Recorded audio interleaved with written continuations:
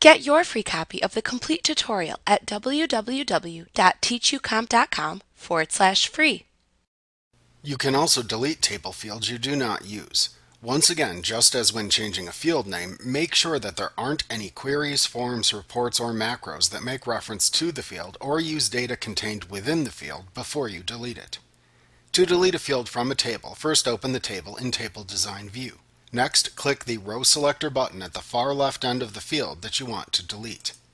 Click the Delete Rows button that appears in the Tools button group on the Design tab of the Table Tools Contextual tab in the ribbon. Access will display a warning prompt asking you if you really want to delete the field and all of the data contained within the field. To finish deleting the field and its data, click the Yes button. You can click the No button to cancel deleting the field if needed. Then click the Save button in the Quick Access toolbar to save your structural modifications.